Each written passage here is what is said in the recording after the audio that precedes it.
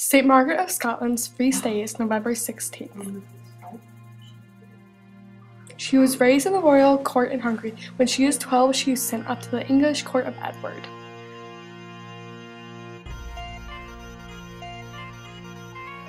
When the Normans conquered England, her family tries to run to Hungary, but, her but their ship was blown off course into Scotland. The King of Scotland welcomed her into his home, and the king and her were married and they had four children. She changed her husband and the country.